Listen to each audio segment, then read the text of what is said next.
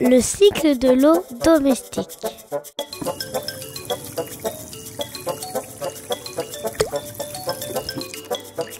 Tom, va te laver les mains s'il te plaît. On va passer à table.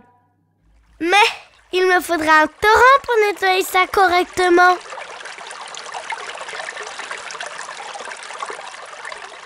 Moins fort l'eau. Et après, ferme bien le robinet. Tu sais, un jour, l'eau sera rare. Rare Rare Mais en fait, d'où elle vient l'eau du lavabo? Je crois qu'elle fait des kilomètres avant d'arriver à la maison. C'est au pied des montagnes et dans la terre que l'eau est puisée. Puis elle est acheminée dans des tuyaux jusqu'à l'usine de potabilisation. Puis traitée pour qu'elle devienne potable. Un long voyage direction le château d'eau. Arrivé au pied du château d'eau, l'eau est propulsée vers le haut à l'aide d'une turbine vers le réservoir. C'est du haut du château que l'eau va pouvoir prendre son élan pour arriver jusqu'à la maison. Toc toc toc Elle arrive chez moi Dans la cuisine, mon père termine la vaisselle.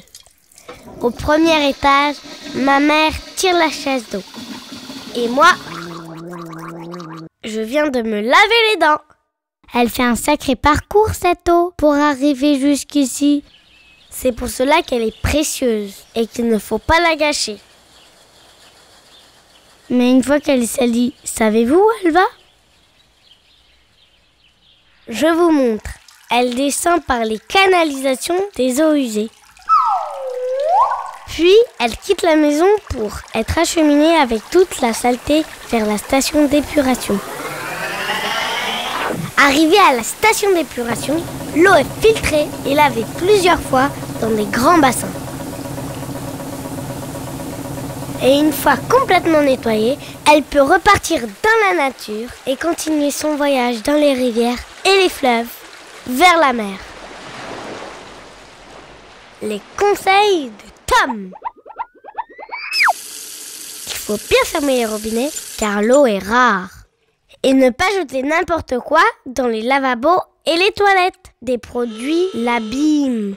L'eau n'est pas une poubelle, il faut la respecter. Bien compris? Waouh! Elle est hyper bonne! Bloops, bloops.